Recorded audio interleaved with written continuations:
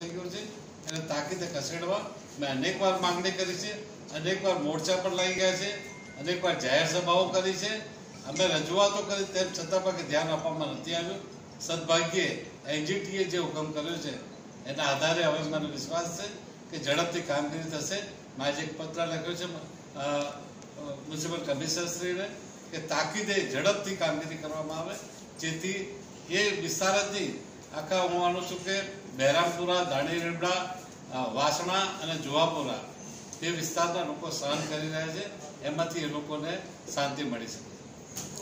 કમિશનરશ્રીએ એવું કીધું છે કે એનજીપીની કોઈ નોટિસ મળી નથી ને જે તમે સમય આપ્યો છે એ એક વર્ષમાં પણ થાય ને બે વર્ષમાં પણ થાય ને પાંચ વર્ષમાં થાય. કમિશનરનું સીધું એવું કહેવું છે કે કોઈ પાર્ટી તરીકે એએમસી આમાં લાગુ નથી રાજ્ય સરકારની હતી તમે એમ કે રોડ રહેતો નથી.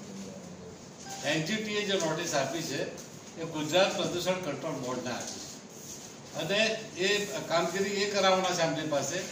મારી પાસે જવાબ જે આવ્યા છે ગુજરાત પ્રદૂષણ કંટ્રોલ બોર્ડના, કે અનેક વાર અમે લોકોએ નોટિસ આપી છે કોર્પોરેશનને જે પ્રદૂષણ ફેલાવે છે તેના કારણે. તેમ છતાંય તંત્ર કે ધ્યાન આપતું નથી. એટલે પ્રદૂષણ કંટ્રોલ બોર્ડ છે એ લોકો કામગીરી મ્યુનિસિપલ કોર્પોરેશન પાસે કરાવશે.